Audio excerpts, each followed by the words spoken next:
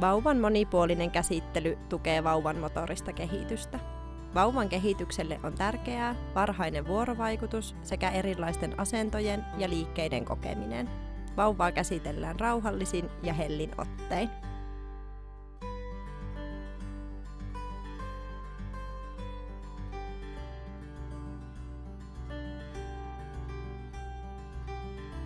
Nosta ja laske vauva kyljen kautta. Ota laaja ote kainaloiden alta, vie vauva kyljelleen, tuo vauvan kädet yhteen. Nosta vauva rauhallisesti syliin. Laske kyljen kautta takaisin alustalle. Nosta ja laske vuoroin molempien kylkien kautta. Kylkinostoissa vauvan päätä ei tarvitse erikseen tukea.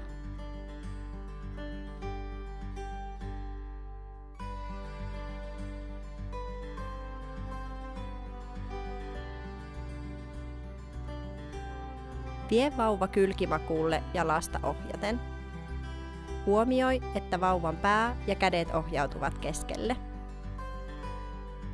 Juttele vauvalle ja vaihda asentoa rauhallisesti niin, että vauva ehtii reagoida liikkeeseen. Vauvaa on myös helppo pukea ja riisua vieden vauvaa kyljeltä toiselle.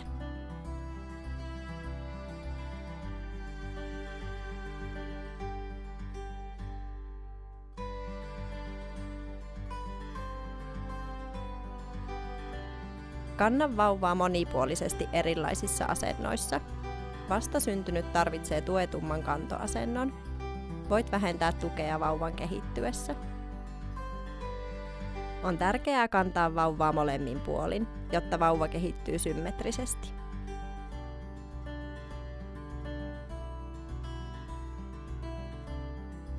Vauva saa harjoitella päänhallintaa vatsamakuulla ja olalla kantaessa.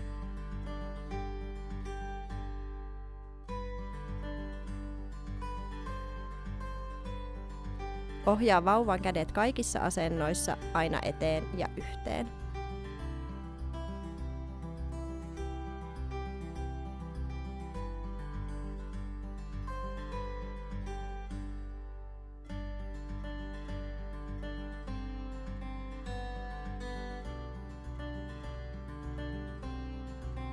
Anna vauvan viettää aikaa lattialla useita kertoja päivässä.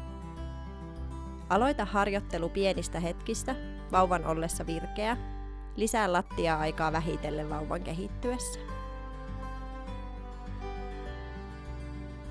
Lattia-aika ja monipuoliset leikkiasennot tukevat vauvan motorista kehitystä ja kallon symmetristä muovautumista.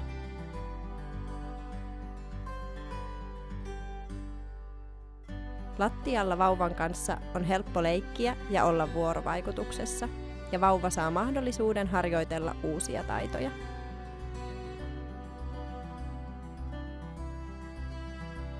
Vatsamakuulla tue vauva tarvittaessa kyynärnojaan.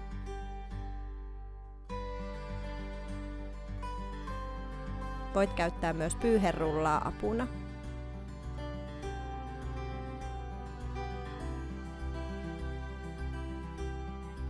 Seurusteluasennossa sylissä vauvan on helppo pitää pää keskilinjassa ja olla aikuisen kanssa vuorovaikutuksessa.